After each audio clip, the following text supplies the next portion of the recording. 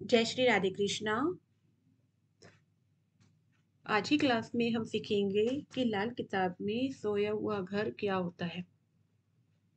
लाल किताब के अनुसार, यदि कुंडली के घर में कोई ग्रह नहीं है और वह खाली है और उस पर किसी अन्य ग्रह की दृष्टि भी नहीं है तो उसे सोया हुआ घर माना जाता है। मीन्स जिस घर में कोई ग्रह नहीं होता और उसके ऊपर किसी दूसरे घर की या ग्रह उस, उस दूसरे ग्रह की दृष्टि नहीं होती तो ऐसे घर को सोया हुआ घर माना जाता है।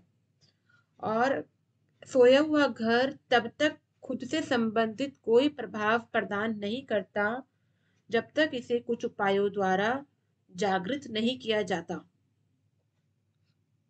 प्रत्येक घर को जगाने के लिए अलग अलग तरीके होते हैं, जिसकी चर्चा हम नेक्स्ट वीडियो में करेंगे।